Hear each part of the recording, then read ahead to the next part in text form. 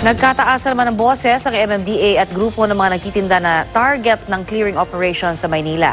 At may ulat on the spot si Mark Salazar. Mark? Connie, sa TM Calao Street sa Maynila, nasa mga bangketa kasi ang mga kariton na bahay at tindahan na rin ng mga pamilya ng mga nagtitinda. Sila yung tinarget ng clearing operations kanina ng MMDA Task Force Special Ops dahil sa mga reklamo raw ng mga pedestrian. Pero sa clearing ops, nagpakita ng isang folder ng dokumento at tickets ang leader ng mga vendor.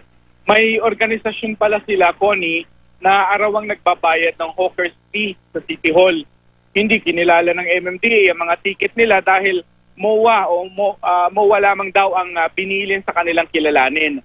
Nauwi tuloy sa bahagyang tensyon ng oper- ang ah, operation dahil nagkataasan na nga ng boses ang dalawang panig.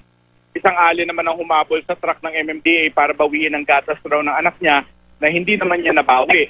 Sabi ng mga vendor, gusto naman daw nila maging legal dahil hanap buhay nila yun eh. Umaten pa raw sila sa mga seminar ng City Hall for hawkers. Kumuha sila ng barangay permit at nagpaalam sa mga establishment na pinwestuhan nila sa tapat gaya ng binilin sa kanila para makapagtinda. Hindi raw nila inaabala mga pedestrian. Hindi makatwiran para sa kanila ang pagtaboy at pagkumpiska ng MMDA. Sabi naman ng MMDA, sinusunod ng nila ang ah, mandato nila na i-clear ang mga kalsada at mga bangketa.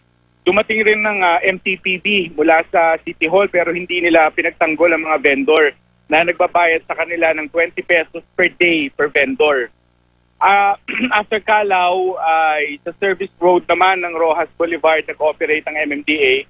Naghakot din sila ng mga obstruction doon, mga nagtitinda rin, mga kariton din, pero walang pumalag, Connie.